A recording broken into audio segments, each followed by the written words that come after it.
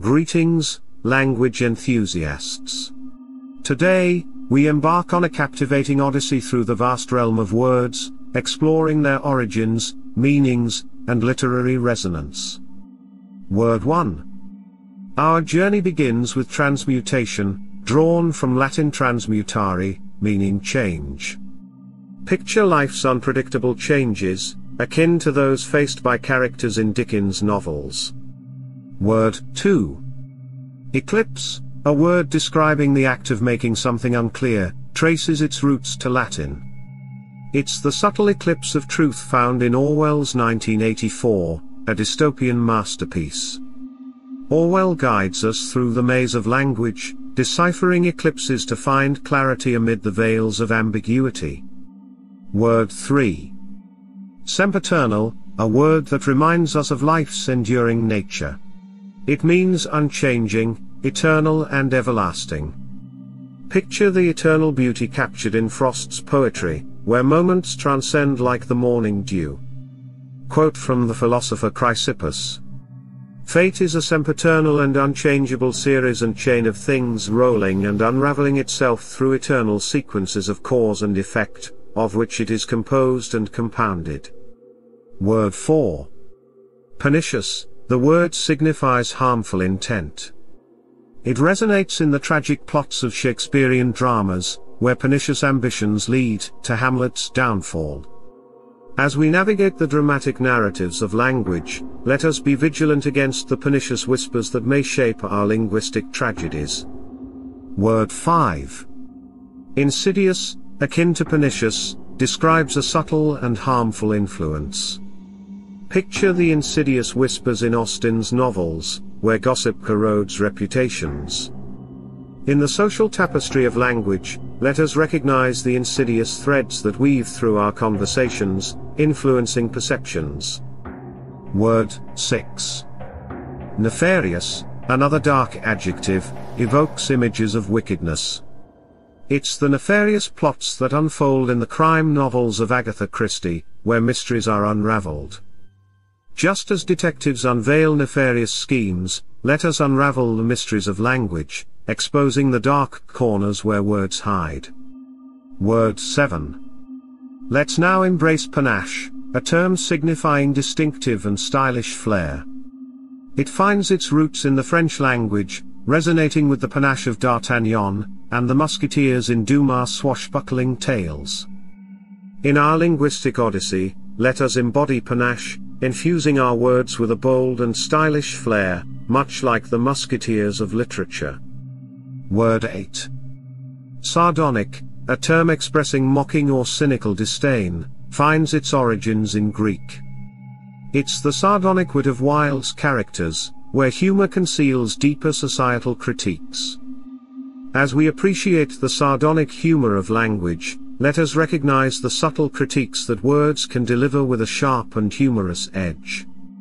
Word 9. Let's navigate the linguistic quandaries with quandary, signifying a state of uncertainty or perplexity. This word stems from Latin, reflecting the quandaries faced by characters in the works of Jane Austen. In our linguistic journey, let us embrace the uncertainties that make language both challenging and rich in nuance. Phobias. Now, let's delve into the realm of fears, phobias that add depth to our emotional vocabulary. 1. Agoraphobia, the fear of open spaces, mirrors the protagonist's confinement in a small apartment in Sylvia Plath's The Bell Jar. Plath's depiction invites us to empathize with the agoraphobic struggle, expanding our understanding of the human psyche. 2. Claustrophobia, the fear of confined spaces, resonates in Poe's The Telltale Heart, where the narrator's guilt intensifies within a claustrophobic setting. Poe's mastery invokes the palpable feeling of claustrophobia, enhancing our appreciation for words that evoke visceral emotions. 3. Acrophobia, the fear of heights, manifests in the suspenseful scenes of Hitchcock's Vertigo, where the protagonist grapples with his acrophobic tendencies. Hitchcock's visual storytelling immerses us in the world of acrophobia, showing us how words and images can evoke shared fears. 4. Xenophobia, the fear of strangers or foreigners, underscores the cultural tensions in Chinua Achebe's Things Fall Apart, as colonial forces introduce xenophobia into Igbo society. Achebe's narrative sheds light on the destructive impact of xenophobia, urging us to confront societal fears embedded in our language. 5. Nyctophobia, the fear of darkness, adds an eerie ambience to Lovecraft's cosmic horror tales, where the unknown lurks in the shadows, feeding on nyctophobic dread. Lovecraft's tales plunge us into the abyss of nyctophobia, showcasing the potency of words to evoke fear in the darkest corners of our imagination. Latin medical terms. Now, let's journey into the world of Latin, where medical language finds its roots. 1. Anesthesia, from the Greek an, meaning without, and aesthesis, meaning sensation. Picture the revolutionary use of anesthesia in Morton's surgical procedures, transforming the landscape of medicine. Morton's pioneering work in anesthesia reshaped medical history, showcasing how Latin roots enrich our understanding of medical advancements. 2. Circadian, from the Latin circa, meaning around, and diem, meaning day. It describes the natural rhythm of physiological processes, as explored in the groundbreaking research of circadian rhythms. The exploration of circadian rhythms highlights the interconnectedness of nature and the human body, fostering a deeper appreciation for the Latin roots that underpin medical terminology. 3. Inflammation, from the Latin inflammare, meaning to set on fire. It encapsulates the body's intricate response to injury, reminiscent of the fiery imagery found in historical medical texts.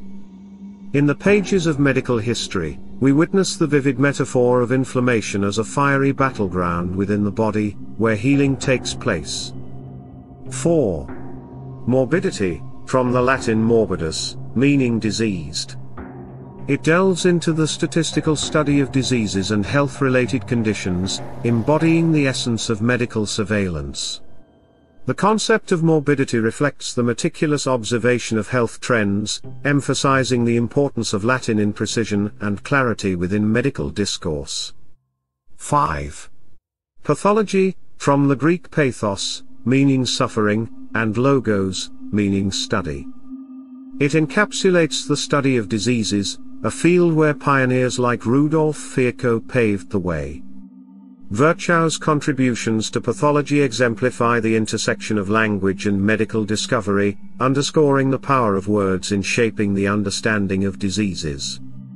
Concluding quotes.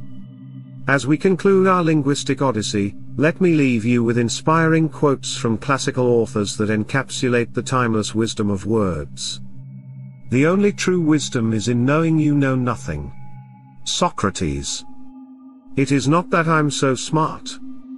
But I stay with the questions much longer. Albert Einstein. The purpose of our lives is to be happy. Dalai Lama. Do not wait for leaders, do it alone, person to person. Mother Teresa. To love oneself is the beginning of a lifelong romance. Oscar Wilde. Words, like the ones we've explored today, carry the weight of history, the richness of human experience, and the power to shape our understanding of the world. May your linguistic journey be filled with curiosity and the joy of discovery. Until our next exploration, happy learning.